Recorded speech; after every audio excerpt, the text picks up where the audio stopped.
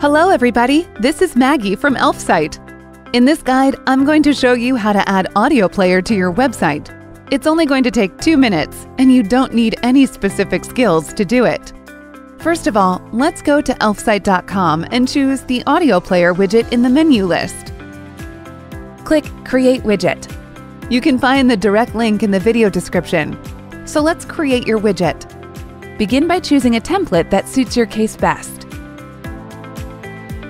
Click Continue with this template. To embed your records on the website, go to the Tracks tab and upload your own file or import it from any public URL. You can choose the widget position on the Layout tab. Personalize the track info, elements, and colors on the Player and Style tabs.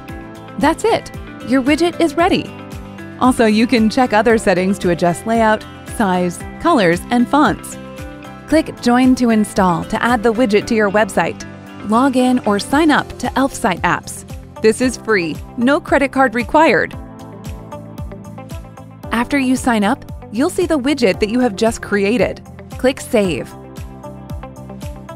The next step is to choose your subscription plan. You're very welcome to start with Lite, but keep in mind that your 20% discount is valid only for 24 hours. Click the code to copy it. Open the HTML file of the required page in the editor. Paste the installation code to the designated page area. Save the changes. Go to the page to check your widget. This is how easy it is. But if anything goes wrong at any stage, message us at support at elfsight.com. Also, we've got tons of cool and exciting widgets, and you're very welcome to try them out for free. Just click the link in the description. Thank you for watching this video. Enjoy your day!